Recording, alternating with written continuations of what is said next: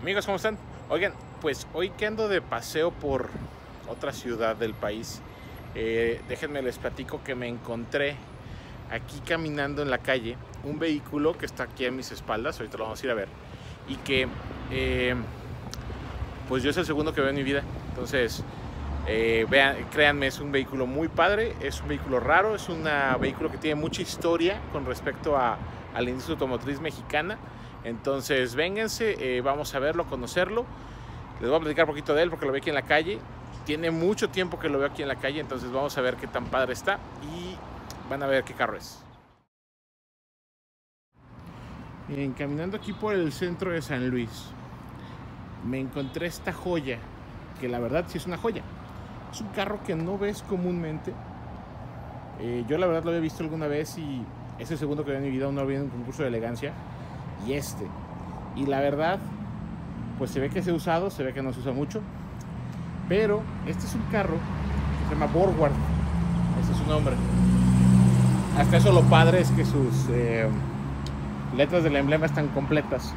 Borgward es una marca alemana de un eh, ingeniero Carl, Carl que se pedaba Borgward y empezó haciendo unos triciclos en 1924, unos eh, carros de uh, motorcitos bien pequeñitos eh, de dos cilindros y después empezó a hacer carros. Ahora, lo padre es que, o, o, cómo se mezcla esto aquí en México, lo padre es que, o bueno, lo gacho para la empresa es que empezó a hacer vehículos, entre ellos el 230 y el Isabela, que son los más conocidos, pero a inicios de los 60, después de la Segunda Guerra Mundial, la fábrica eh, pues se muere.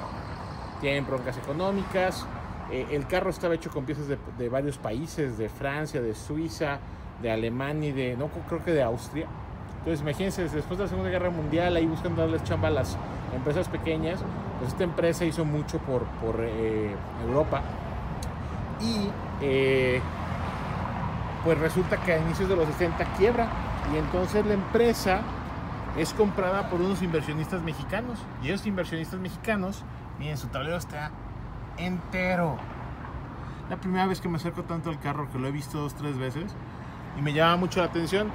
Y pues había muy poquito de ellos, porque los había visto, les digo, en un concurso nada más en, en Whisky Lucan vi una vez uno. Y este, y este es un 230 GL. Bueno, les platico, el chiste es que para el 62 agarran y, eh, está más a detalle su nombre, Forward 230 GL, ahorita les voy a platicar qué significa cada cosa. Resulta que pues truena y unos inversionistas mexicanos dicen, pues échamelo acá a México y nosotros lo hacemos acá en México y pues en México no hacemos carros y vamos a hacer carros.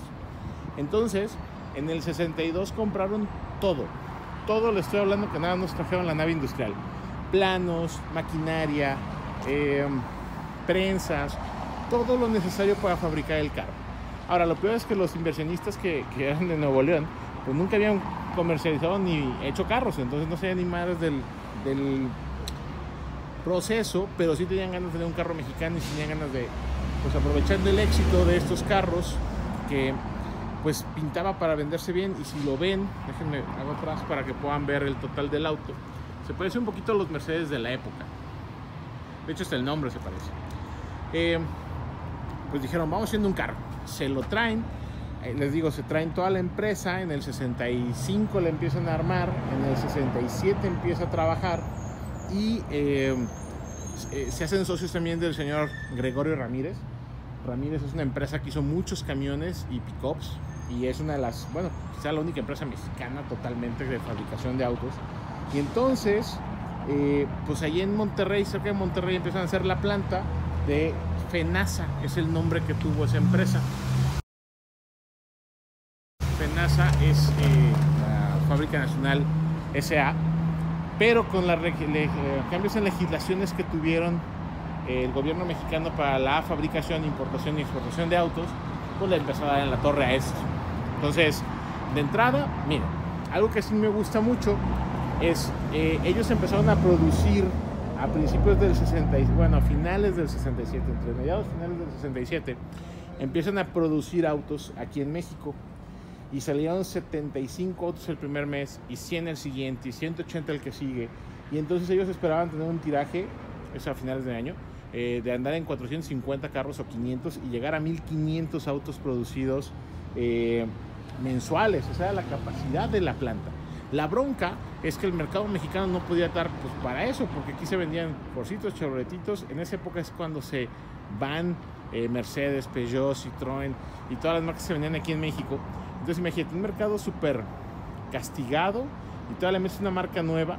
Entonces ese es uno de los temas que pues le costó mucho trabajo a la marca librar. Segundo, pues nadie los conocía. Ahorita les voy a poner ahí al final unas imágenes de los anuncios de los Borgward. Yo la verdad les voy a ser franco, no los conocía. Yo llegué a ese concurso de elegancia hace unos años y vi esta calavera y dije, chinga, pues parece Mercedes, pero está raro, pero no es Ford, pero pues no sé qué es, no sé qué es. Y me tuve que poner a investigar y entonces supe que no solamente los habían hecho en Alemania, sino que después los hicieron aquí en México. Y aquí en México hicieron básicamente pues, dos modelos, ¿no? El 230 y el 230 GL, que estéticamente, bueno, mecánicamente son iguales, estéticamente tienen ligeros cambios. Este que estamos viendo es el de lujo. Los dos tienen motores 2.3 litros, por eso los, 230. Eh, había una versión más grande de este carro, que nunca lo he visto en mi vida. Y había también eh, ese, ese, esa otra versión que se planeó hacer aquí en México, pero ya no se hizo. Eh, pues estaba carito para el mercado mexicano, pero miren, la verdad a mí me gusta mucho. Aparte este carro cada vez que lo veo y vengo aquí a San Luis, me encanta que vean su línea. Está súper lindo.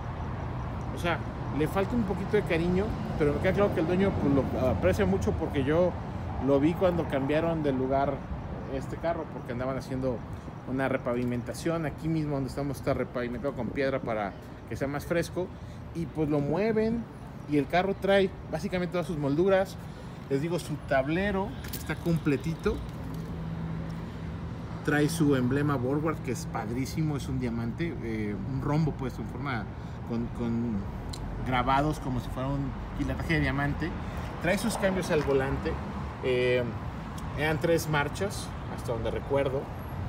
Y eh, pues miren, trae un indicador abajo extra.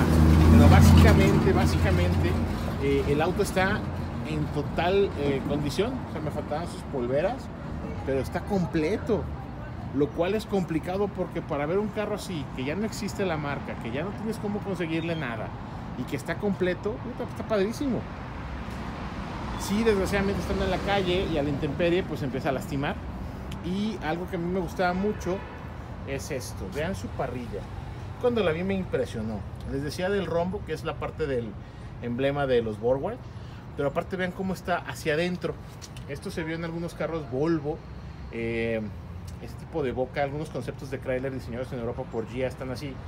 Eh, y de ahí en fuera, esta parte salida, pues lo diferencia mucho de los pontones de Mercedes. Y me gusta mucho esta parte de deportividad que tiene al frente con su toma de aire simulada. Me queda claro que no es una gran cosa, me queda claro que no es un supercarro deportivo, pero le daba un aire de deportividad al auto. Ahora, lo mejor y más padre, a mí que me gustó este carro la primera vez que lo vi, vean eso. Todo su nombre está completo. Un Borgward 230 GL. Entonces les dejo uno de los carros que difícilmente van a ver en todo México. Les digo yo, es el segundo que tengo la oportunidad de conocer. Y es un juguetote en eh, la parte de autos raros y sobre todo hecho en México. Ahí les dejo este video. Eh, ya saben dónde encontrarme en las redes sociales. Eh, arroba Enrique Encinas, en YouTube como Más que Clásicos, al igual que en Instagram como yo, Enrique Encinas, ¿vale? Eh, pues me dejan comentarios acerca de este carro, no sé si ya lo conocían, ahí luego les platico un poquito más de la marca.